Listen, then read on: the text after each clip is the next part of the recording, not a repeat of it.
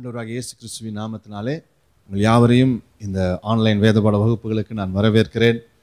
கத்தருக்கு பிரியமானூரிலே கடந்த நாட்களிலே ஏழு சபைகளை குறித்ததான ஒரு தியானத்தை நம்ம தொடர்ச்சியாக நம்ம பார்த்தோம். அந்த காரியங்கள் நிச்சயமாகவே உங்களுக்கு ஆசீர்வாதமாக இருந்திருக்கும் என்று சொல்லி கர்த்தருக்குள்ளே நான் விசுவாசிக்கிறேன். ஸோ இன்றைக்கும் நாம் ஒரு புதிய தலைப்பின் கீழாக இந்த வேத பாடத்தை தொடர இருக்கிறோம்.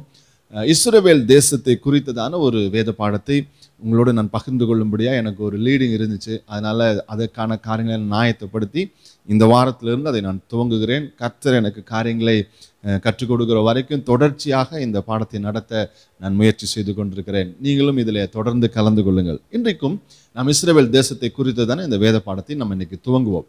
இஸ்ரவேல் தேசம் என்று சொல்லி பார்க்கும் பொழுது அதில் ரெண்டு விதமான காரியங்கள் இருக்குது. ஒன்று இந்த உலகம் இஸ்ரவேல் தேசத்தை எவ்வாறு பார்க்கிறது? அடுத்து சபை இஸ்ரவேல் தேசத்தை எவ்வாறு பார்க்குது என்று சொல்லி நம்ம பார்க்கலாம். முதலாவது இந்த உலகம் இஸ்ரவேல் தேசத்தை பார்க்கும் பொழுது இஸ்ரவேல் தேசம் மிகவும் என்ன சொல்வது ஒரு ஒரு ஞானம் நிறைந்த ஒரு தேசமாக இந்த உலகம் பார்க்கிறது. யூதர்கள் வந்து ரொம்ப வைஸ் பீப்புள் ரொம்ப ஞானமுள்ளவர்கள் அப்படின்னு சொல்லி அவங்க பார்க்குறாங்க.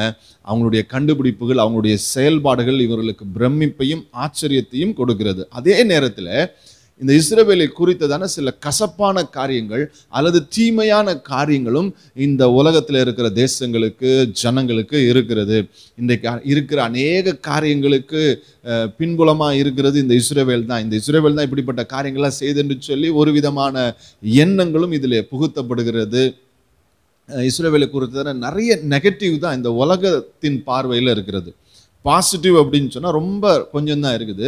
ஆனால் இஸ்ரேவேலுக்கு எதிரடையான கருத்துகள் அநேகமாக இந்த பூமியில் இருக்கிறது இந்த உலகத்தின் மனிதர்களிடத்தில் இருக்கிறத நம்மால் உணர்ந்து கொள்ள முடியும். ஆனால் இந்த ஸ்டடி நான் முழுக்க முழுக்க வேதத்தின் அடிப்படையில் இஸ்ரேவேல் தேசத்திற்கும் சபைக்கும் என்ன தொடர்பு என்பதன் அடிப்படையில் தான் இதை நான் கொண்டு போக போகிறபடினால சபையானது இஸ்ரவேலை எப்படி பார்க்கிறது என்பதை நான் உங்களுக்கு ஒரு இன்ட்ரடக்ஷனாக இன்றைக்கி நான் கொடுக்குறேன். தொடர்ந்து சில காரியங்களை உங்களோடு நான் பகிர்ந்து கொள்கிறேன். சபையை குறித்த வரைக்கும் இஸ்ரவேல் தேசம் அப்படின்னு சொல்லி பார்க்கும் பொழுது சபை இஸ்ரவேலை எப்படி பார்க்குது அப்படின்னு சொன்னால் நம்முடைய இரட்சகராகிய இயேசு கிறிஸ்து பிறந்து வாழ்ந்து சிலுவையில் சிலுவையில மறித்து அவர் என்ன செய்யப்பட்டார் அடக்கம் செய்யப்பட்டு உயிர்த்தெழுந்த அந்த ஒரு பூமி அந்த ஒரு தேசம் அப்படிங்கிற ஒரு பார்வை தான் பிரதானமாக சபைக்கு இருக்கிறது. அதை தாண்டி பெரிய விதத்தில் இஸ்ரேவேலை குறித்ததான ஒரு பார்வை சபைக்கு இல்லை.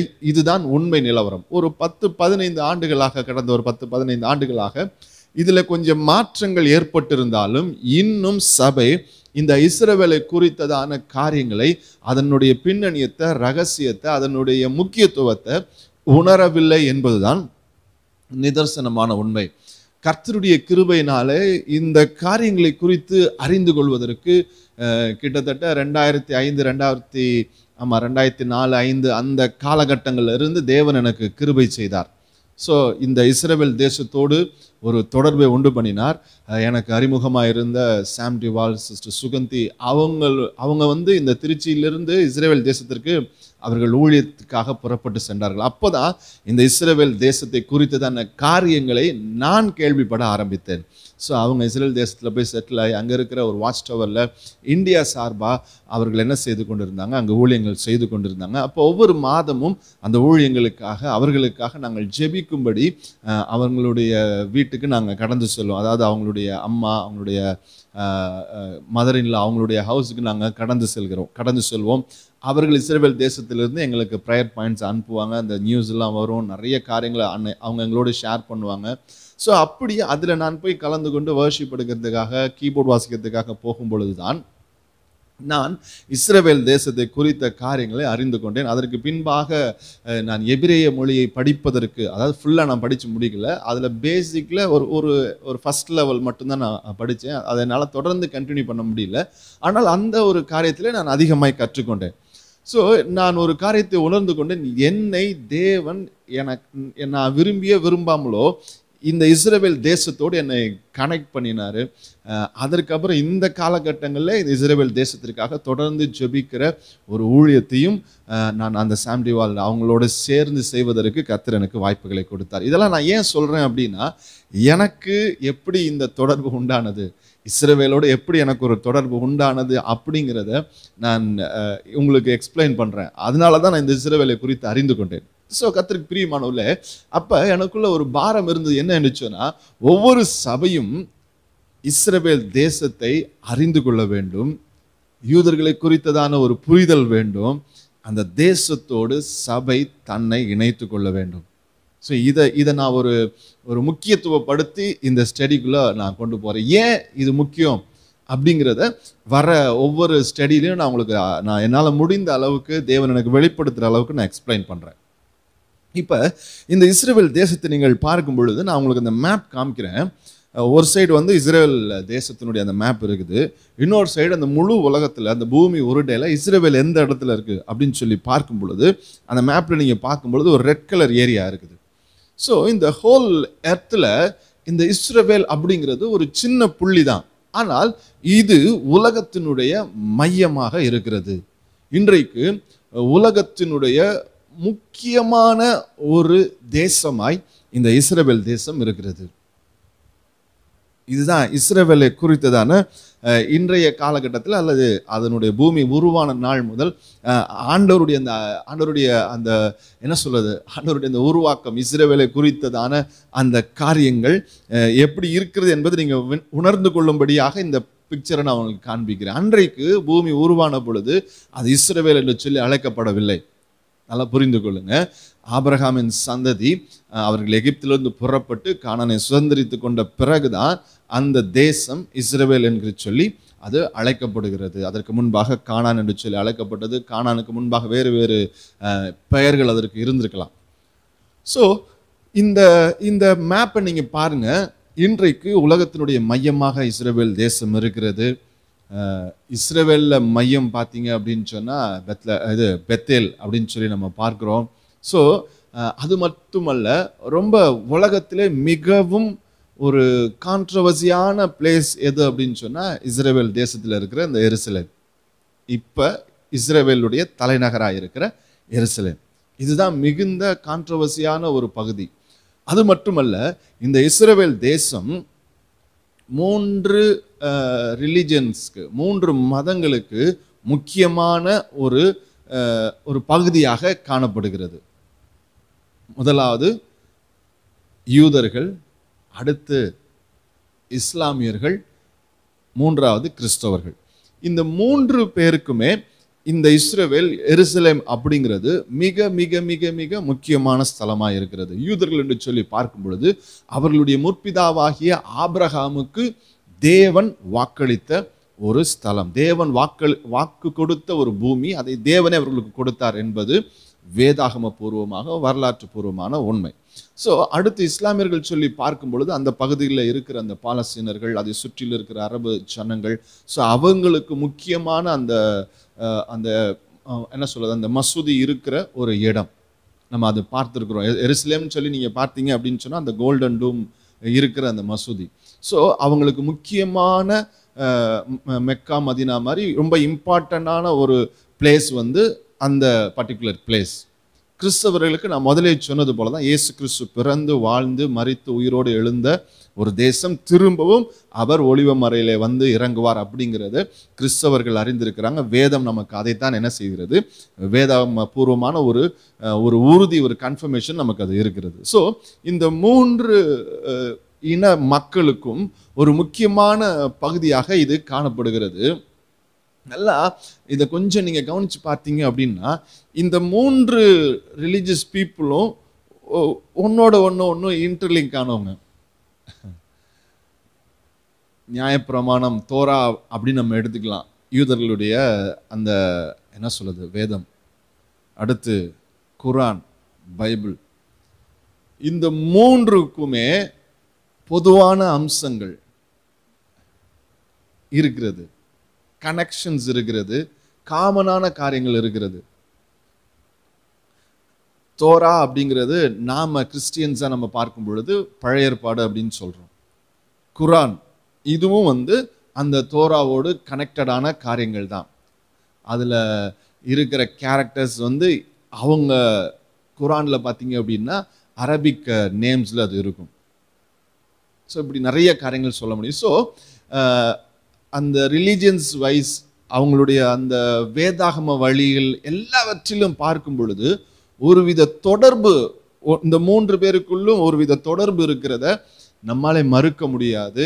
ஒருவேளை இன்றைக்கு இருக்கிற காலகட்டத்திலே இந்த இந்த இவர்களா இவங்கெல்லாம் பிரிந்து இருக்கலாம் ஒருவேளை யூதர்கள் தனியாக இஸ்லாமியர்கள் தனியாக கிறிஸ்தவர்கள் தனியாக பிரிந்து இருந்தாலும் அதனுடைய ஆர்ஜின் அதனுடைய துவக்கம் இதெல்லாவற்றையும் நீங்கள் கனெக்ட் பண்ணி பார்க்கும் பொழுது இதில் ஒரு தொடர்பு இருக்கிறத உங்களால் விளங்கி கொள்ள முடியும்.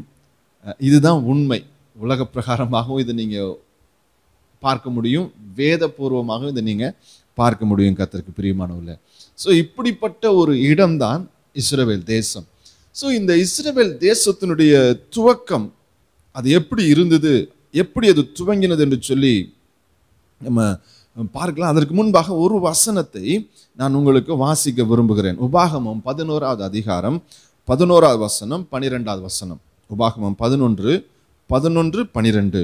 நீங்கள் சுதந்திரிக்க போகிற தேசமோ மலைகளும் பள்ளத்தாக்குகளும் உள்ள தேசம் அது வானத்தின் மழை தண்ணீரை குடிக்கும் தேசம் அது உன் தேவனாகிய கர்த்தர் விசாரிக்கிற தேசம் வருஷத்தின் துவக்கம் முதல் வருஷத்தின் முடிவு மட்டும் எப்பொழுதும் உன் தேவனாகிய கர்த்தரின் கண்கள் அதன் மேல் வைக்கப்பட்டிருக்கும். The eyes of the lord your God are always on it from the beginning of the year to the very end of the year இந்த வசனத்தை நல்லா கவனிச்சு பாருங்க. இஸ்ரேவை இஸ்ரேவேலை குறித்து அதாவது காணானை குறித்து அன்றைக்கு மோசை சொல்லும் பொழுது அது காணான் தான்.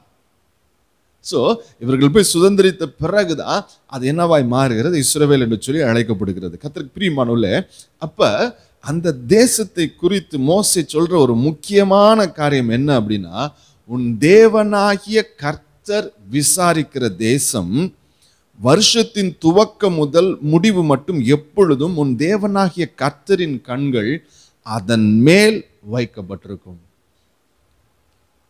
அப்ப இந்த இஸ்ரவேல் தேசம் என்பது என்ன?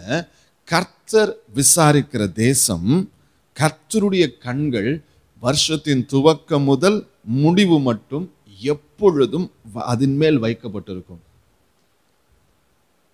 அப்ப அந்த பர்டிகுலர் லொகேஷனை தேவன் எந்த அளவுக்கு முக்கியத்துவப்படுத்துகிறார்? இன்னைக்கு அது ஏன் ஒரு கான்ட்ரவர்சி நிறைந்த இடமா இருக்கிறது அப்படின்னு சொல்லி பார்க்கும் பொழுது இந்த வசனத்திலிருந்து நீங்க விளங்கிக் கொள்ள முடியும்.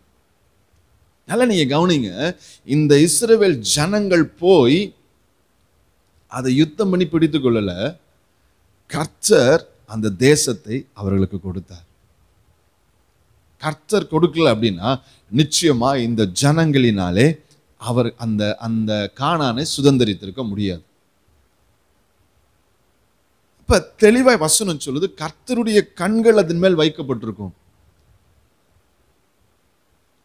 ஒரு வசனத்தை நான் உங்களுக்கு வாசு காண்பிக்க விரும்புகிறேன். ஆதியாகமம் பதினாறாவது அதிகாரம் பதிமூன்றாவது வசனம். அப்பொழுது அவள் ஆகாரை குறித்து சொல்லப்படுது. ஆகாருடைய வாழ்க்கையில் நடந்த சம்பவம். அப்பொழுது அவள் என்னை காண்பவரை நானும் இவ்விடத்தில் கண்டேன் அல்லவா? என்று சொல்லி தன்னோடே பேசின கர்த்தருக்கு நீர் என்னை காண்கிற தேவன். என்று பெயரிட்டாள். You are the God who sees நீர் என்னை காண்கிற தேவன். ஆனா இஸ்ரவேலை குறித்து மோசை சொல்றாரு கர்த்தருடைய கண்கள் எப்பொழுதும் அதன் மேல் வைக்கப்பட்டிருக்கும். ஒரு வருஷத்தின் துவக்கம் முதல் இறுதி வரை டுவெண்ட்டி ஃபோர் இன்ட்டு செவன் முன்னூற்றி அறுபத்தைந்து நாட்கள். இரவும் பகலும் அதனுடைய கண்கள் அதன் மேல் வைக்கப்பட்டிருக்கும். தேவன் தேவனுடைய கண்கள் இஸ்ரவேலின் மேல வைக்கப்பட்டிருக்கிறது. அவருடைய கண்கள் நம்மை காண்கிறது. அதெல்லாம் நீங்க புரிந்து கொள்ளுங்க. கண்கள் வைக்கப்பட்டிருக்கிறது அப்படின்னா கண்ணோக்கமா இருக்கிறார் அப்படின்னா அவருடைய பார்வை முழுக்கவும் எதன் மேல தான் இருக்குது? இஸ்ரவேல் மேல தான் இருக்குது. மற்ற எல்லாவற்றையும் அவர் பார்க்குறாரு. அவருக்கு தெரியுது நீங்க இருக்கிறது நான் இருக்கிறது உலகத்தின் மற்ற இடங்கள் இருக்கிறது. ஆண்டவருக்கு தெரியுது. ஆனால் அவர் யார் மேல நோக்கமா இருக்கிறார்? அந்த பர்டிகுலர் லொகேஷன் இஸ்ரவேல். இதை இன்றைக்கு சபை முதலாவது புரிந்து கொள்ள வேண்டும் கர்த்தருக்கு பிரியமானவர்களே. ஏன் என்று சொன்னால் சர்ச் அப்படின்னு சொல்லும்போது நான் உலகத்துல இருக்கிற எல்லா சபைகளையும் இணைத்து சொல்கிறேன் உலகளாவிய சபையை சொல்கிறேன். இன்றைக்கு சபைக்கு இருக்கிற ஒரு மிகப்பெரிய எண்ணம் என்ன என்று சொன்னால் அதாவது மெஜாரிட்டியான சர்ச்சஸ் இருக்கிற ஒரு எண்ணம் என்ன அப்படின்னா இஸ்ரவேலை தேவன் தள்ளிட்டாரு. இனி இஸ்ரவேல் கிடையாது. நாம் தான் ஆவிக்குரிய இஸ்ரவேலர்கள். அவர் தள்ளினதாக வேதத்துல பழைய ஏற்பாட்டிலும் சரி புதிய ஏற்பாட்டிலும் சரி எங்கேயுமே வசனமே கிடையாது. அவர் யூதர்களை சிதறடித்தார். ஆனா என்றைக்கும் அந்த பர்டிகுலர் லொக்கேஷன் அந்த பர்டிகுலர் பிளேஸை அவர் விட்டு கொடுத்ததாக சரித்திரமே இல்லை. அதெல்லாம் நம்ம தொடர்ச்சியாக பார்க்கலாம். ஆனால் ஃபஸ்ட் இன்னைக்கு நீங்கள் உன்னை புரிந்து கொள்ளுங்க. வருஷத்தின் முந்நூற்றி அறுபத்தைந்து நாட்களும் துவக்கம் முதல் இறுதி வரை முடிவு வர twenty four into seven day and night கர்த்தருடைய கண்கள் அதன் மேலே வைக்கப்பட்டிருக்குது. ஒரு கூட்டமான இடத்துக்கு நீங்கள் குடும்பமாக போகிறீங்க ஒரு சர்ச்சுக்கோ அல்லது ஒரு பார்க்குக்கோ பீச்சுக்கோ போகிறீங்க அங்கே நிறைய கூட்டம் இருக்கும். நீங்கள் குடும்பமாக போகிறீங்க உங்கள் பிள்ளைகளோடு போகிறீங்க உங்களுடைய கண்கள் யார் மேலே இருக்கும்? உங்கள் பிள்ளைங்க மேலே தான் இருக்கும். மற்ற சுற்றியில் இருக்கிற எல்லாத்தையும் நீங்கள் பார்ப்பீங்க. அங்கே வந்து ஒரு ஸ்நாக்ஸ் கடை இருக்கும் கேம்ஸ் இருக்கும் மற்ற மற்ற விற்பனை செய்கிற கடைகள் இருக்கும் அங்கே நிறைய என்டர்டைன்மெண்ட்ஸ் இருக்கும் கூட்டம் இருக்கும் மக்கள் இருப்பாங்க எல்லாம் இருக்கும். எல்லாம் உங்கள் கண்ணில் தெரியும் எல்லாத்தையும் நீங்கள் பார்ப்பீங்க. ஆனால் உங்களுடைய அந்த கான்சன்ட்ரேஷன் முழுசு யார் மேலே இருக்கும் உங்கள் பிள்ளை மேலே தான் இருக்கும். உங்கள் பிள்ளை என்ன பண்ணுது எங்கே போகுது என்ன செய்யுது எதை வாங்குது என்ன பண்ணுது? அதே மாதிரி தான் கர்த்தர் நம்ம எல்லாரையும் விசாரித்தாலும் எல்லாரையும் நடத்தினாலும் அவருடைய கண் நோக்கம் எல்லாம் இஸ்ரவேலின் மேலே அந்த ஜனத்தின் மேலும் அந்த தேசத்தின் மேலும் இருக்கிறது. இது மாறாத உண்மை. இது இதை இதை யாராலும் மறுக்க முடியாது. இதற்கு அப்படி இல்லைங்கிறதுக்கு நீங்கள் எந்த வசனத்தையும் காட்ட முடியாது. ஏன்னா இது எல்லாவற்றையுமே நான் தொடர்ச்சி அவங்களுக்கு நான் எடுக்க போகிறேன் இஸ்ரவேலை குறித்த காரியங்கள் இஸ்ரவேல் திரும்ப எடுத்து கட்டப்படுங்கிறதுக்கான ப்ராஃபஸிஸ் தீர்க்க தரிசனங்கள் அது என்ன சொல்லப்பட்டுச்சு அது நம்முடைய காலத்தில் என்னென்னலாம் நிறைவேறி இருக்குது இன்னும் என்னென்ன நிறைவேற போகுது எல்லாவற்றையுமே இந்த தொடர் ஸ்டடீஸில் நான் உங்களுக்கு நடந்து இருக்கிறேன். அதனால் நான் ரொம்ப கான்ஃபிடெண்ட்டாக சொல்லுவேன். இதற்கு எதிரான ஒரு வசனத்தையும் நம்மளே காட்ட முடியாது. ஆனால் பிசாசு தந்திரமாக என்ன செஞ்சுட்டான்? இந்த சபையை இஸ்ரவேலை விட்டு விலக்கிட்டான். நீ தான் இஸ்ரவேல் நீ தான் ஆவிக்குரிய இஸ்ரவேல். அதை புறந்தள்ளிட்டாரு. இல்லை கர்த்தருக்கு பிரியமானவர்ல யாத்திராகமம் பத்தொன்பதாவது அதிகாரம் ஐந்தாவது வசனம் ஆறாவது வசனம் ஆண்டவர் தெளிவாக சொல்றாரு இப்பொழுதும் நீங்கள் என் வாக்கை உள்ளபடி கேட்டு என் உடன்படிக்கையை கைக்கொள்வீர்களானால் சகல ஜனங்களிலும் நீங்களே எனக்கு சொந்த சம்பத்தா இருப்பீர்கள். பூமி எல்லாம் என்னுடையது. ஆறாவது வசனம் நீங்கள் எனக்கு ஆசாரிய ராஜ்யமும் பரிசுத்த ஜாதியுமா இருப்பீர்கள் என்று இஸ்ரவேல் புத்திரரோட சொல்ல வேண்டிய வார்த்தைகள். மோசைக்கு தெளிவு ஆண்டவர் சொல்றாரு என் வாக்கை கேட்டு என் உடன்படிக்கையை கை கொண்டீங்கன்னா நீங்க தான் எனக்கு சொந்த சம்பத்து. அப்ப மற்ற எல்லாரையும் தேவன் வெறுக்கிறாரா? இல்ல. எல்லாரையும் நேசிக்கிறார். எல்லாரும் ரட்சிக்கப்படணும் அப்படிங்கிறது ஆண்டவருடைய சித்தமா இருக்கிறது. அதனால தான் ஏசு கிறிஸ்து உலகத்தின் பாவத்தை சுமந்து தீர்க்கும்படி இந்த பூமிக்கு வந்தார். ஆனால் ஏன் இஸ்ரவேலை ஆசாரிய ராஜ்யமாய் பரிசுத்த ஜாதியை அவர் பிரித்து எடுக்கிறார்னு சொன்னால் இந்த முழு ஆசீர்வாதம் உலகத்திற்குள்ளே செல்வதற்கு இந்த இஸ்ரவேல் தேசத்தை யூதர்களை தேவன் முன்குறித்தார். இஸ்ரவேல் தேசம் என்று சொல்லும்போது அந்த அந்த பர்டிகுலர் லொகேஷனே நான் சொல்கிறேன் நீங்கள் நல்லா அதை கவனிச்சிங்க. அந்த பூமியை நான் சொல்றேன் அந்த லேண்டை நான் சொல்றேன். பிரியமானம் இல்லை இதுல ரெண்டுமே முக்கியம். இதுல ரெண்டுமே முக்கியம். அது தேவனுடைய பூமியா இருக்கிறது கத்தருக்கு பிரியமானவர்ல அதனால தான் கர்த்தர் சொல்றாரு அது தேவன் நீர்ப்பாய்ச்சுகிற தேசம் அது தேவன் விசாரிக்கிற தேசம் வருஷம் முழுவதும் தேவன் விசாரிக்கிற தேசமா?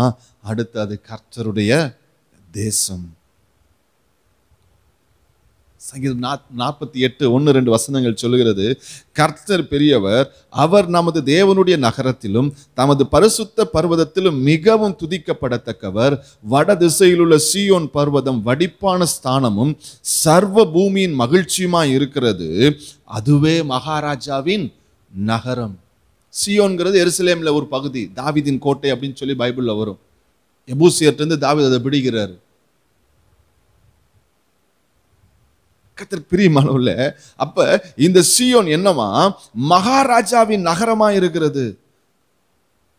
அது சர்வ பூமி சர்வ பூமியின் மகிழ்ச்சியா இருக்கிறது. அப்ப தேவன் இந்த பூமியில ஒரு என்ன சொல்றது? ஒரு ஸ்தானத்தை ஒரு ஒரு பர்டிகுலர் பிளேஸ் அவர் முன்குறித்து வைத்திருந்தார் முன்குறித்து தெரிந்து வைத்திருந்தார். அந்த லொகேஷன் தான் இஸ்ரவேல். அதனால தான் அந்த சின்ன தேசத்திற்கு விரோதமாய் இன்றைக்கு உலகத்தில் இருக்கிற அதிகபட்சமான நாடுகள் எதிர்த்து அதை அழிக்க யுத்தம் பண்ணிக்கொண்டே இருக்கிறது. அவங்களுக்கு யூதர்கள் மேலே வெறுப்பு யூதர்கள் மேலே கசப்பு அந்த தேசத்தின் அதெல்லாம் இல்லவே இல்லை. இதற்கு பின்னாடி பிசாசானவன் இருந்து செயல்படுவதனுடைய நோக்கம் என்ன? அது தேவனுடைய பூமி அதை எப்படியாவது டெஸ்ட்ராய் பண்ணணும். அது எப்படியாவது அருவருப்பு நிறைந்த பூமியாய் மாற்ற வேண்டும். அதுதான் அவனுடைய நோக்கமாக இருக்கிறது. ஆதியாகம பனிரெண்டாவது அதிகாரம் முதல் வசனத்தை நீங்கள் வாசிங்க. கர்த்தர் ஆபிரகாமை நோக்கி நீ உன் தேசத்தையும் உன் இனத்தையும் உன் தகப்பனுடைய வீட்டையும் விட்டு புறப்பட்டு நான் உனக்கு காண்பிக்கும் தேசத்துக்கு போ. கர்த்தர் ஆண்டவர் பர்டிகுலரா ஒரு லொகேஷன் வச்சிருந்தார். அது ஆண்டவருடைய பூமி.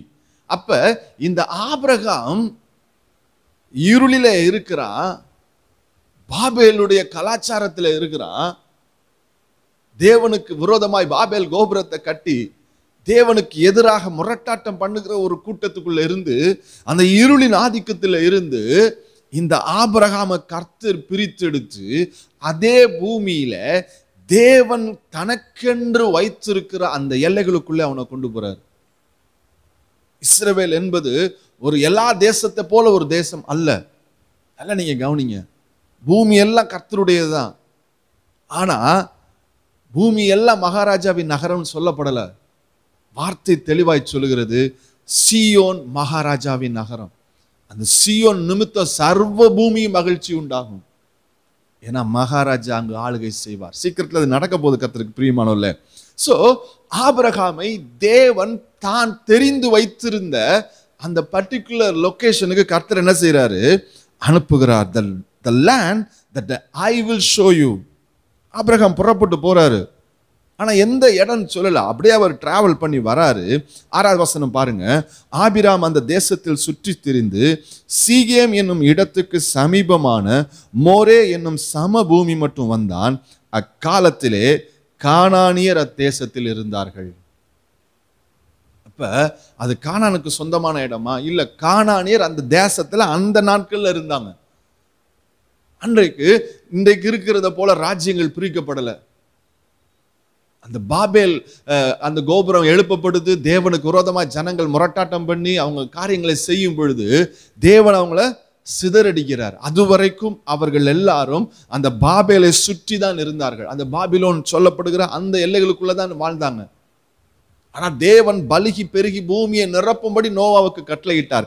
இந்த நோவாவுடைய சந்ததியில தான் வந்தவர்கள் தான் இந்த பாபிலோனில் இருந்தவங்க. ஆனால் அவர்கள் எல்லாரும் ஒருமனப்பட்டு ஒரே இடத்துல கூடி நம்ம எங்கேயும் சிதறி போவோம்னா நம்ம எல்லாரும் ஒன்றா இருப்போம் அப்படின்னு இருந்தாங்க. ஆனால் கர்த்தருடைய திட்டம் என்ன? இவர்கள் பூமி எங்கும் பரவணும். அப்படி பரவாதனால தேவன் என்ன செய்தார்? அவர்களுடைய மொழிகளை என்ன செய்தார்? மாற்றினார். அப்போ ஒரு மொழி பேசுகிற குறிப்பிட்ட ஜனங்கள்லாம் பிரிந்து அப்படியே அவங்க என்ன செய்கிறாங்க அப்படியே ட்ராவல் பண்ணி அங்கங்கே அங்கங்கே அவங்க என்ன செய்கிறாங்க செட்டில் ஆகுறாங்க. அந்த நாட்களில் நாம் நாகரிகங்கள் எப்படி தோண்டினது என்ன சொன்னால் நதிகள் எங்கே இருக்குதோ? அதன் அருகில் அவங்க போய் என்ன செய்தாங்க? நாகரிகங்களை அமைத்து கொண்டாங்க. ஏன்னா அந்த நாட்களில் பிரதானமாக இருந்தது என்னது? வ- மெய்ப்பர்களுடைய அந்த மேய்ச்சல் தான் நிறையா இருந்துச்சு. அடுத்து விவசாயம். இது ரெண்டுக்கும் எது ஆதாரம்? தண்ணீர். அப்போ அவங்க அப்படியே ட்ராவல் பண்ணி ட்ராவல் பண்ணி எங்கே தண்ணி இருக்குதோ அதை சுற்றி என்ன செய்ய ஆரம்பித்தார்கள்? வாழ ஆரம்பித்தார்கள். அப்போ இந்த காணானியருடைய தேசம் அல்ல அவர்கள் அந்த நாட்கள் அங்கே வந்து இருந்தாங்க. எப்படி ஆபிரகாம் பின்னாடி ட்ராவல் பண்ணானோ அதே போல் அவர்கள் என்ன செய்யப்பட்டாங்க? அந்த மொழிகள் மாற்றப்பட்டப்ப சிதறி அவர்கள் அந்த எல்லைக்கு வந்தாங்க. அது காணானியருடைய ஓன் பிளேஸ் கிடையாது. அது கர்த்தருடைய இடம். அது கர்த்தருடைய தேசம். அதை நான் பின்னாடி உங்களுக்கு எக்ஸ்பிளைன் பண்ணுறேன் அப்ப ஏழாவது வசனம் பாருங்க. கர்த்தர் ஆபிரகாமுக்கு தரி ஆபிரகாமுக்கு தரிசனமாகி உன் சந்ததிக்கு இந்த தேசத்தை கொடுப்பேன் என்றார். அப்பொழுது அவன் தனக்கு தரிசனமான கர்த்தருக்கு அங்கே ஒரு பலிபீடத்தை கட்டினான். அப்ப ஆபிரகாம் அவன் குடும்பமா மட்டும்தான் வரான். அவன் அவன் மனைவி லோத்து வரான். அப்புறம் லோத்து ஒரு குறிப்பிட்ட காலத்துல அதுக்கப்புறம் அவனை விட்டு பிரிஞ்சு போயிடுறான். அவங்க போய் அந்த இடத்தை அபகரித்து கொள்ளலை. கர்த்தர் வாக்கு பண்ணி அழைத்து வந்து அந்த தேசத்தை அவர்களுக்கு கொடுத்தார். அந்த பூமியை ஆபிரகாமுக்கு கொடுத்தார். உனக்கும் உன் சந்ததிக்கும் உன் பின்வரும் சந்ததிக்கும் இதை நான் சுதந்திரமாக கொடுப்பேன். கர்த்தர் வாக்கு பண்ணினார் ஏன் இதை நான் இன்சிஸ் பண்ணுறேன் அப்படின்னா ஏன் இதை நான் முக்கியத்துவப்படுத்துறேன் அப்படின்னா இன்றைக்கு உலகம் விட்டுருங்க சபையே என்ன நினைக்குது அப்படின்னா இஸ்ரவேல் இதை அபகரித்து கொண்டது. இல்லை கத்திற்கு பிரியமானவர்களே அது தேவன் அவர்களுக்கு வாக்களித்த பூமி. அது தேவனுடைய ஸ்தானம் அது தேவனுடைய ஸ்தலம் அது மகாராஜாவின் நகரம். அதை கர்த்தர் தம்மாலே அழைக்கப்பட்ட தெரிந்து கொள்ளப்பட்ட ஆபிரகாமுக்கும் அவன் சந்ததிக்கும் கொடுத்தார். அது ஆண்டவருடைய இடம் அப்படிங்கிறதுக்கு என்ன சாட்சி? ஆதியாகமம் பதினாலாவது அதிகாரம் பதினெட்டாவது வசனத்துலேருந்து நீங்கள் வாசிங்க. லோத்து சோதம் குமாராவுக்கு அருகில இருக்கும் பொழுது அதற்கு விரோதமாக வந்த ராஜாக்கள் அந்த சோதம் குமாரை அழிச்சிட்டு அங்கே இருந்த லோத்தை என்ன செய்கிறாங்க கொள்ளையிட்டு போயிடுறாங்க லோத்தையும் கைதியாக பிடிச்சிட்டு கொள்ளையிட்டு போயிடுறாங்க ஆப்ரஹாம் போய் யுத்தம் பண்ணி லோத்தையும் அவங்க கொள்ளையிட்ட மற்ற எல்லாவற்றையும் திருப்பி கொண்டு வந்துடுறார். ஸோ இந்த சம்பவம் நம்ம எல்லாருமே அறிந்திருக்கிறோம். அப்படி அவர்கள் திருப்பி கொண்டு வரும் பொழுது பதினெட்டாவது வசனத்தில் பாருங்க. அன்றியும் உன்னதமான தேவனுடைய ஆசாரியனாயிருந்த சாலேமின் ராஜாவாகிய மெல்கி சதேக்கு அப்பமும் திராட்சை ரசமும் கொண்டு வந்து அவனை ஆசிர்வதித்து வானத்தையும் பூமியும் உடையவராகிய உன்னதமான தேவனுடைய ஆசீர்வாதம் ஆபிரகாமுக்கு உண்டாவதாக என்றார். இந்த மெல்கி சதேக்கு யார் என்று சொல்லி நமக்கு தெரியல. அவர் துவக்கமும் இல்லை அவருக்கு முடிவும் இல்லை. இந்த சம்பவத்துக்கு அப்புறம் அவரை நம்ம பார்க்க முடியல. எபிரேயருக்கு எழுதப்பட்ட நிருபத்தில் இதை குறித்து தானே நிறைய காரியங்கள் இருக்குது ஆவிக்குரிய அர்த்தங்கள் இருக்குது. ஆனால் உன்னை நீங்கள் நல்லா கவனிச்சுங்க. இந்த பர்டிகுலர் ஏரியா யாருடையது கர்த்தருடையது அப்படிங்கிறதுக்கு சாட்சி இந்த வசனம். இந்த மெல்கிசதேக்கு யாரு? உன்னதமான தேவனுடைய ஆசாரியன் சாலேமின் ராஜா. இந்த சாலேம் தான் தாவிதின் நாட்களே எருசலேம் அப்படின்னு சொல்லப்படுகிறது. எருசலாயிம் அப்படின்னு சொல்லுவாங்க. அப்ப அந்த எருசலேம் தான் அன்றைக்கு இஸ்ரேவேலுக்கு என்னவா இருந்தது? தலைநகரா இருந்தது. தாவிதாடை அதை தலைநகர ஆக்குறதுக்கு முன்னாடியே தேவன் தம்முடைய ஆசாரியனா இருந்த மெல்கிசதேக்க அந்த சாலேமுக்கு ராஜாவை வைத்திருந்தார். மெல்கி சதேக்கு ஆசாரியனாகவும் இருந்தார் ராஜாவாகவும் இருந்தார். அதே போல தான் தாவிதும் இருந்தாருன்னு சொல்லுவாங்க. தாவிது ராஜாவுமா இருந்தார். அவர் தேவ சமூகத்தை அப்பங்களை எடுத்து புசித்தார். மற்றவங்க அப்படி சாப்பிட்ருந்தா பய பயங்கர பிரச்சனையாக இருக்கும். ஆனால் தேவன் அதை அடிக்கல அப்போ தேவன் தாவிதை எப்படி பார்த்தார்? ஒரு ஆசாரியனாகவும் பார்த்தாரு ராஜாவாகவும் பார்த்தார்.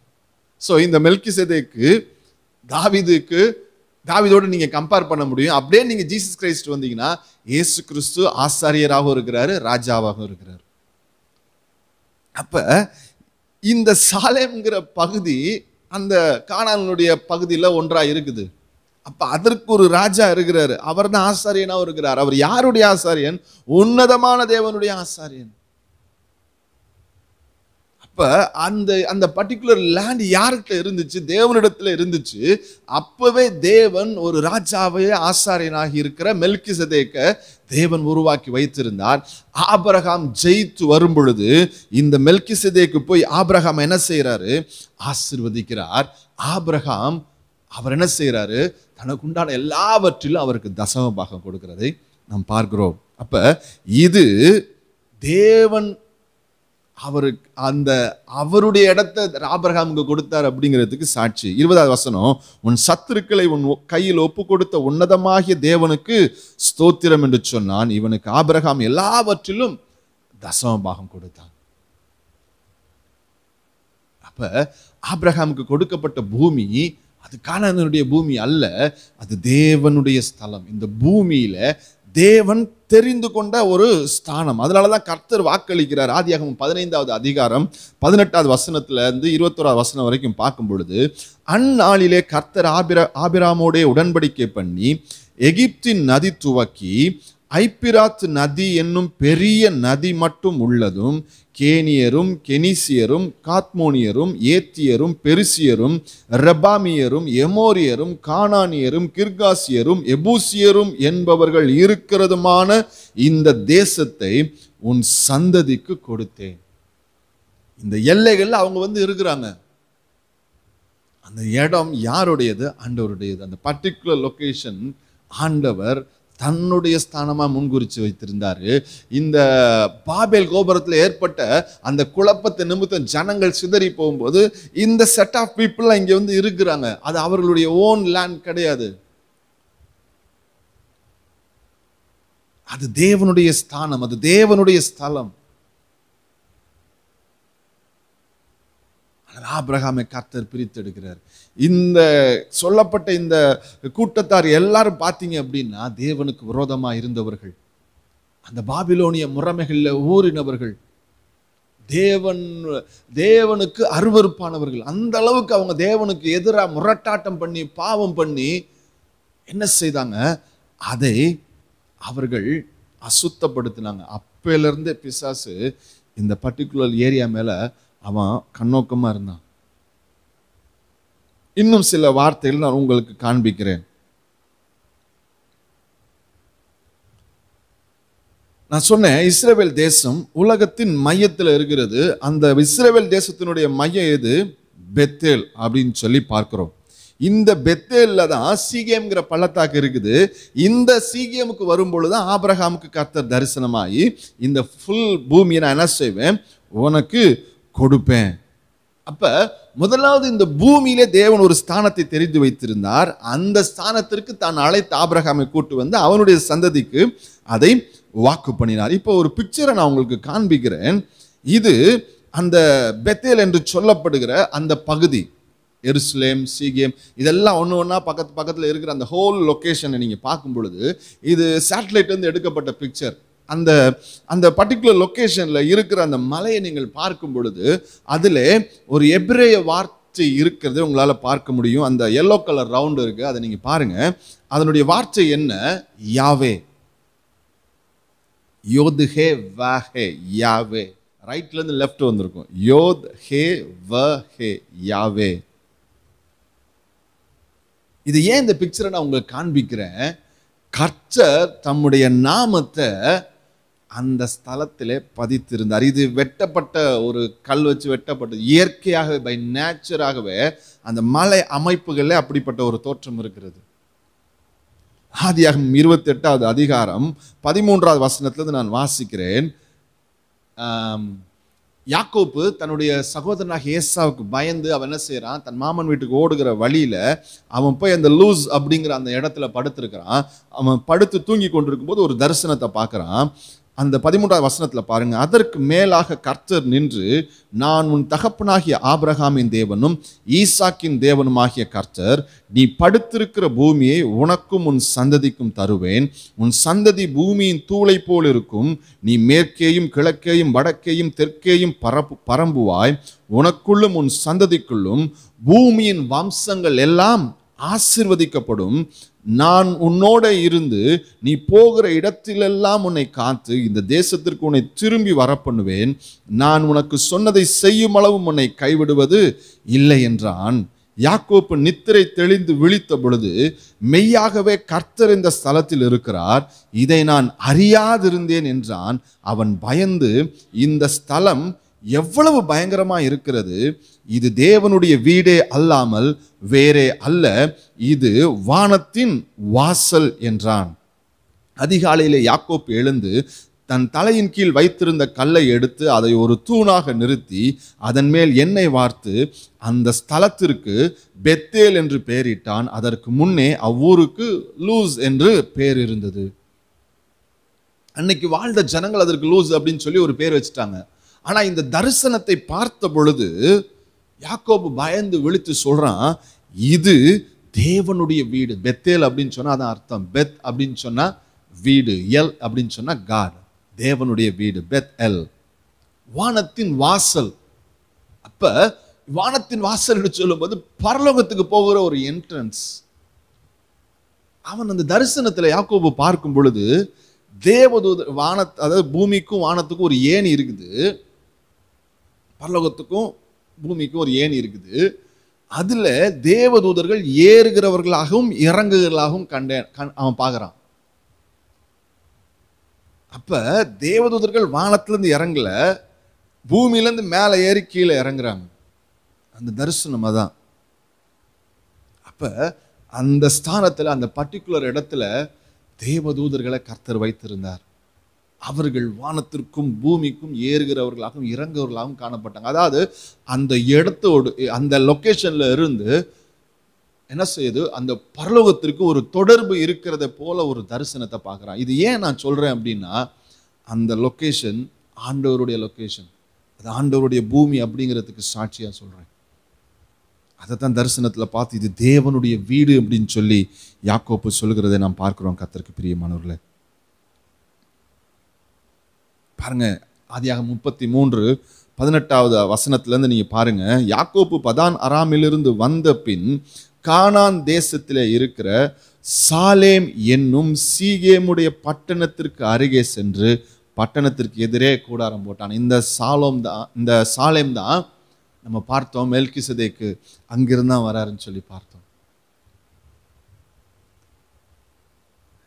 தன் கூடாரம் போட்ட வெளியின் நிலத்தை சீகேமின் தகப்பனாகிய எமோரியரின் புத்திரரின் கையிலே நூறு வெள்ளிக்காசுக்கு கொண்டு அங்கே ஒரு பலிபீடத்தை கட்டி அதற்கு ஏல் எல்லோகே இஸ்ரவேல் என்று பெயரிட்டான். பிரியமானவில் இதில் நல்ல நீங்கள் கவனிங்க. அவர்கள் தேவன் கொடுத்த இடம் தேவனுடைய இடம் அப்போ சில காரியங்களை செய்யும் பொழுது அவங்க அதற்கு ஆதாரமாக பணத்தை கொடுத்து அந்த இடத்த வாங்குறாங்க. சும்மா போய் கொள்ளையிட்டு கொள்ளலை. இதெல்லாம் நல்லா நீங்கள் கவனிச்சு பாருங்க. சண்டை போட்டு அபகரிச்சு கொள்ளலை. இன்றைக்கு உலகத்தில் அப்படிப்பட்ட பார்வை இருக்குது. அதை கூட நான் தள்ளி வச்சிருவோம். ஆனால் இன்றைக்கு சபைக்கே அநேக கிறிஸ்தவ விசுவாசிகளே அப்படிப்பட்ட பார்வை உடையவர்களாக இருக்கிறாங்க. ஆனால் வேதம் தெள்ள தெளிவாக சொல்லுது. அது கர்த்தருடைய பூமி. ஆபிரகாமுடைய நாட்கள் நீங்கள் பார்க்க முடியும். ஆபிரகாம் என்ன செய்கிறார் பொருட்களை கொடுக்குறார். அன்றைக்கு இருந்த அந்த பண்டமாற்றும் பண்டமாற்றும் முறையின்படி காரியங்களை கொடுத்து அந்த இடத்த வாங்குறாரு. கல்லறைகளை வாங்குறாங்க. இங்கே பலிபீடம் கட்டுறதுக்காக சீகேமின் தகப்பனாகிய எமோரியரின் புத்திரர் கையில் நூறு வெள்ளிக்காசை கொடுத்து அந்த இடத்த யாக்கோப்பு வாங்கி அங்கே பலிபீடம் கட்டுறாரு. அதெல்லாம் நீங்கள் கவனிங்க. அந்த முற்பிதாக்களும் சரி அதற்கு பின்னாடி வந்தவங்களும் சரி எங்கேயுமே அவர்கள் அபகரிக்கவில்லை.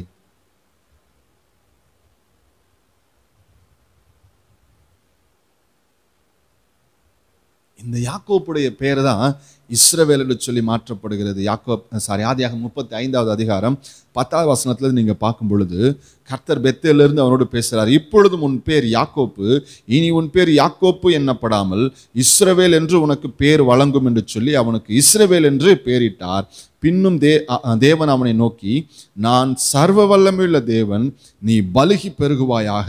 ஒரு ஜாதியும் பற்பல ஜாதிகளின் கூட்டங்களும் உன்னிடத்திலிருந்து உண்டாகும் ராஜாக்களும் உன் சந்ததியில் பிறப்பார்கள். நான் ஆபரகாமுக்கும் ஈசாக்குக்கும் கொடுத்த தேசத்தை உனக்கு கொடுப்பேன். உனக்கு பின் உன் சந்ததிக்கு இந்த தேசத்தை கொடுப்பேன் என்று சொல்லி என்ன செய்கிறாரு ஆண்டவர் அவனுக்கு வாக்கு I I the God God Almighty.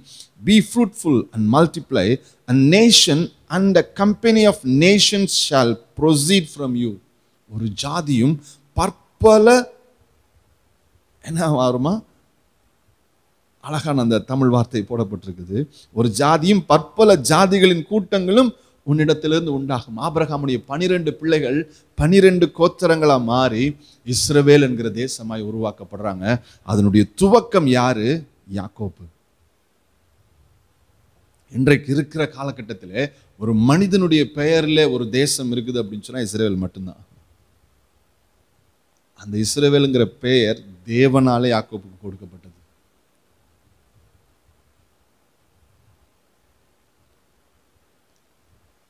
சங்கீதம் எழுபத்தெட்டு ஐம்பத்தி ரெண்டுலேருந்து நீங்கள் வாசிக்கும் பொழுது தம்முடைய ஜனங்களை ஆடுகள் போல புறப்பட பண்ணி அவர்களை வனாந்தரத்திலே மந்தையைப் போல கூட்டி கொண்டு போய் அவர்கள் பயப்படாதபடிக்கு அவர்களை பத்திரமாய் வழிநடத்தினார் அவர்கள் சத்துருக்களை கடல் மூடி போட்டது. அவர் தமது பரிசுத்த ஸ்தலத்தின் எல்லை வரைக்கும் தமது வலதுகரம் சம்பாதித்த இந்த பர்வதம் மட்டுக்கும் அழைத்து கொண்டு வந்து அவர்கள் முகத்திற்கு முன்பாக ஜாதிகளை துரத்திவிட்டு தேசத்தை நூல் போட்டு பங்கிட்டு அவர்களுடைய கூடாரங்களில் இஸ்ரவேலின் கூ கோத்திரங்களை குடியேற்றினார். அந்த ஸ்தலம் என்னவா? தேவனுடைய பரிசுத்த ஸ்தலம். தமது வலதுகரம் சம்பாதித்த பர்வதம். வசனம் தெளிவா இருக்குது. இன்றைக்கு சபை இதை புரிந்து கொள்ள வேண்டும். இஸ்ரவேல் என்பது ஏதோ ஒரு தேசம் அல்ல. நல்லா நீங்க புரிந்து கொள்ளுங்க. அது தேவனுடைய பரிசுத்த ஸ்தலம் அது தேவனுடைய வலதுகரம் சம்பாதித்த பர்வதம். நம்ம இன்னைக்கு ரொம்ப கேஷுவல் ரொம்ப ஈஸியாக இஸ்ரேவேல புறந்தள்ளிடுறோம். ஆனால் வேதத்தை நல்லா வாசிச்சு பாருங்க. கர்த்தர் அதற்காக எவ்வளோ வைராக்கியம் கொண்டிருக்கிறாருங்கிறது உங்களால் விளங்கி கொள்ள முடியும் கர்த்தருக்கு பிரியமானவர்களே. இஸ்ரேவேலுடைய இஸ்ரவேலுடைய துவக்கம் இப்படிதான் இருந்துச்சு. அது சர்வ பூமிக்கும் மகிழ்ச்சியை கொடுக்கிற மகாராஜாவின் நகரம். அப்ப தேவன் அதை சம்பாதித்தார். அந்த பூமி முழுவதும் அவருடையது. அவர் அந்த பூமியில ஒரு பர்டிகுலர் பிளேஸை தெரிந்து கொண்டு அதை அவருடைய நகரமாய் மாற்றி அது சர்வ பூமிக்கும் ஆசிர்வாதமாய் மாற்றினார். சர்வ பூமிக்கும் ஆசிர்வாதமாய் மாற்றினார். அதனாலதான் இன்றைக்கும் இஸ்ரவேல் சர்வ பூமிக்கும் ஆசிர்வாதமாக இருக்குது. அப்படியா அப்படின்னு சொல்லி நீங்க கேட்கலாம். நான் அது அது அது எப்படிலாம் ஆசீர்வாதமா இருக்குது அப்படிங்கறது மட்டுமே ஒரு ஸ்டடியா உங்களுக்கு நான் போடுறேன். நாம் கத்திரிக்கு பிரியமானவர்களே. இப்ப இந்த இஸ்ரோவேல் தேசத்தை குறித்து உங்களுக்கு ஒரு தெளிவு பிறந்திருக்கும். இந்த இந்த ஸ்டடி முழுசும் அது தேவனுடைய ஸ்தலம் என்பதை நிரூபிக்கிற வசனங்களை நான் வேதத்திலிருந்து உங்களுக்கு எடுத்து காண்பித்திருக்கிறேன். உங்களுடைய கண்கள் திறக்கப்படட்டும். இந்த உலகம் இஸ்ரவேலை எப்படி வேணாலும் பேசிட்டு போட்டும். மீடியா எப்படி வேணாலும் பேசிட்டு போட்டும். ராஜாக்கள் ராஜ்யங்கள் இஸ்ரேவேலை குறித்து என்ன வேணாலும் பேசிட்டு போட்டும். ஆனால் அவருடைய இரத்தத்தினால மீட்கப்பட்ட அவருடைய சரீரமாக இருக்கிற சபையாகிய நாம் இந்த தேசத்தை குறித்ததான சரியான புரிதலை பெற்றுக்கொள்ள வேண்டும். சரியான புரிதலை பெற்றுக்கொள்ள வேண்டும். அந்த தேசம் யாருடையது? கர்த்தருடையது. அது யூதர்களுடையது யூதர்களுடையதுன்னு கூட நான் சொல்ல மாட்டேன். அது கர்த்தருடையது. கர்த்தர் அதை அவர்களுக்கு கொடுத்தார். கர்த்தருக்கு பிரியமானோல அதனால தான் பிசாசு அந்த தேசத்தை அழிக்கணும். தேவன் தெரிந்து கொண்டு அந்த இனத்தை அழிக்கணும். ஆசீர்வாதமா இருக்கும்படி அழைக்கப்பட்ட அவங்கள சாபமா மாற்றணும். இன்றைக்கு அவன் போராடி கொண்டிருக்கிறான். எருசலேமை எந்த அளவுக்கு அசுத்தப்படுத்த முடியுமோ அசுத்தப்படுத்துறான். விக்கிரகங்களால் எருசலேமை நிறைக்கிறான். தேவன் எந்த ஸ்தானத்துல விக்கிரக எனக்கு விக்கிரகத்தை உண்டாக்காத சொரூபத்தை உண்டாக்காதன்னு சொன்னாரோ அதே ஸ்தானத்துல அவர் பேரை கொண்டு விக்கிரகங்கள் உருவாக்கப்பட்டிருக்குது. சொரூபங்கள் உண்டாக்கப்பட்டிருக்குது. இன்னைக்கு உலகம் முழுவதும் ஒரு பெரிய இன்ஃப்ளூயன்ஸ் கொடுத்து கொண்டிருக்கிற அந்த ஓரின சேர்க்கையாளர்கள் அவங்களுடைய ஹெட் குவார்ட்டர்ஸ் என்ன தெரியுமா? ஜெருசலேம். பிசாசு அது எப்படியாவது அசுத்தப்படுத்தணும். தேவன் எதெல்லாம் வேண்டாம் எதெல்லாம் அருவருக்கிறாரோ அது எல்லாவற்றையும் அவருடைய தேசத்துக்குள்ளே கொண்டு போகணும்னு சொல்லி பிசாசு அதிகமாய் போராடி கொண்டிருக்கிறான். இந்த நாட்களிலே நாம் மகாராஜாவின் நகரத்திற்காக வைராக்கியம் கொள்ளணும். அந்த வைராக்கியம் உங்களுக்கு வரணும் அப்படின்னா முதல்ல இஸ்ரேவேலை குறித்ததான ஒரு அண்டர்ஸ்டாண்டிங் உங்களுக்கு வரணும். என்று சொன்னால் உலகத்தை விட இன்றைக்கு சபைக்குள்ளே தான் இதற்கு விரோதமான போதனைகள் அதிகமாக இருக்குது. அது எனக்கு ரொம்ப வருத்தத்துக்குரியதாக இருக்குது. இந்த செய்தி இந்த ஸ்டெடியை நான் பண்ணுறதுக்கு மெயின் ரீசனே அதுதான்.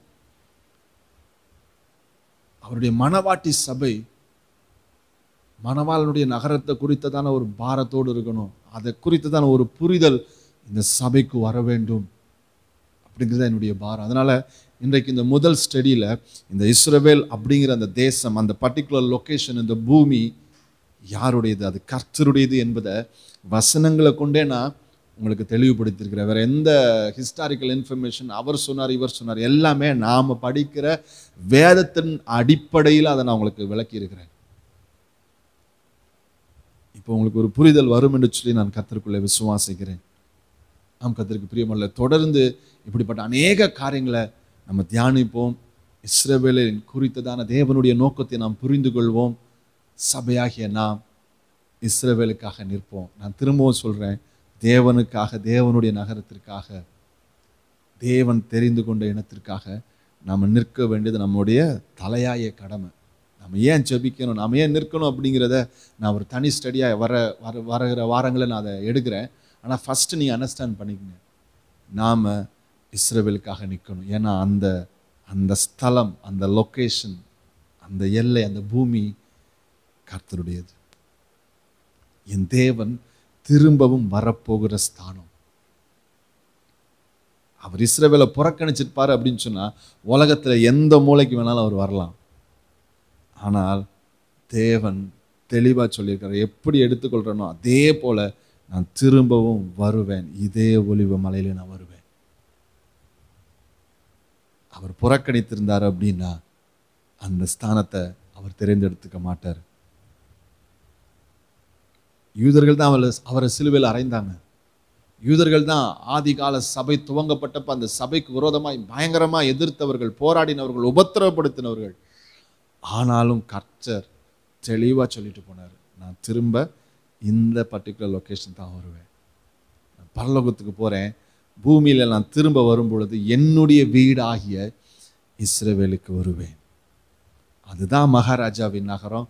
அவர் தன்னுடைய நகரத்துக்கு வந்து சர்வ பூமிக்கு மகிழ்ச்சியை கொடுக்கிற நாட்கள் வெகு விரைவில் வெகு சீக்கிரத்தில் வரப்போகுது. நாம் ஆயத்தப்படுவோம். இஸ்ரேவேல் தேசத்திற்காக நிற்போம். இஸ்ரேவேலோடு இணைக்கப்படுவோம். கத்தர் உங்களை ஆசிர்வதிப்பாராக. எங்களை அதிகமாக நேசிக்கிற நல்ல தகப்பனை இந்த நல்ல நாளுக்காக உண்மை நன்றியோடு நாங்கள் ஸ்தோத்தரிக்கிறோம் நன்றியோடு துதிக்கிறோம் கத்தாவே. தகப்பனை இந்த நேரத்திலும் இஸ்ரேல் தேசத்தை குறித்ததான ஒரு ஸ்டடி இன்றைக்கி நாங்கள் ஸ்டார்ட் பண்ணி அந்த தேசம் அந்த பூமி அந்த பர்டிகுலர் லொக்கேஷன் அது உம்முடையது என்பதை வசன ஆதாரங்கள்லிருந்து இன்னைக்கு நாங்கள் விளங்கியிருக்கிறோம் ஆண்டவரே. இந்த செய்தியை கேட்ட ஒவ்வொருடைய வாழ்க்கையிலும் இந்த வார்த்தைகள் கிரியை செய்யட்டும். அந்த தேசத்தை குறித்ததான ஒரு பாரமும் ஒரு வைராக்கியமும் ஒவ்வொரு விசுவாசிகளுக்கும் ஒவ்வொரு சபைக்கும் உண்டாகட்டும் என்று சொல்லி ஆண்டவரே இந்த நேரத்தில் உங்கள் சமூகத்தில் நாங்கள் ஜெபிக்கிறோம். இன்னும் அநேக மறைபொருட்களை கத்தாப்பி அவர்கள் வேதத்தை வாசிக்கும் பொழுது நீர் அவர்களுக்கு வெளிப்படுத்துவீராக. அவர்களுக்கு அதை குறித்ததான ஒரு பாரத்தையும் அதை குறித்ததான ஒரு வைராக்கியத்தையும் தேவன் தந்து சபையானது இஸ்ரேவேலுக்காக ஜெபிக்க இஸ்ரேவேலுக்காக நிற்க யூதர்களுடைய ரட்சிப்புக்காக ஜெபிக்க ஆண்டவரை பாரப்படும்படியாக அவருடைய இருதயத்தை கர்த்தர் மாற்றுவீராக கிரியை செய்வீராக என்று சொல்லி உடைய கரத்தில் அப்படியே ஒப்பு கொடுத்து தாழ்த்துகிறோம். துதிகன மகிமை எல்லாவற்றையும் ஒருவருக்கே செலுத்துகிறோம். இயேசு கிறிஸ்துவின் ஈடு இணையற்ற நாமத்தில் ஜெபத்தை இருக்கிறோம் நல்ல பிதாவே ஆமேன் ஆமேன். என் ஆத்மாவே கத்திரை ஸ்தோத்திரி. என் முழுமே அவருடைய பரிசுநாமத்தை ஸ்தோத்திரி. என் ஆத்மாவே கத்திரை ஸ்தோத்திரி. கத்தர் செய்த சகல உபகாரங்களையும் மறவாதே மறவாதே. ஆமேன். கத்திர பிரியமானவர்களே தொடர்ந்து நீங்கள் தியானித்து பாருங்கள் அநேக காரியங்களை ஆண்டவர் உங்களுக்கு வெளிப்படுத்துவார். நான் கற்றுக்கொண்டது ஆண்டவர் எனக்கு வெளிப்படுத்தினேன் இன்றைக்கு நான் உங்களோட பகிர்ந்து கொண்டிருக்கிறேன். நீங்கள் ஆண்டவர்கிட்ட கேளுங்க. ஆண்டவர் இன்னும் வேறு என்னென்ன காரியங்களாக இருக்குது எனக்கு வெளிப்படுத்துங்கன்னு சொல்லி நிச்சயமாக கர்த்தர் உங்களுக்கு வெளிப்படுத்துவார். நீங்கள் தேவனுக்காக அவருடைய நகரத்திற்காக அவருடைய ஜனங்களுக்காக வைராக்கியம் பாராட்டுங்க. கர்த்தர் உங்களை ஆசீர்வதிப்பாராக.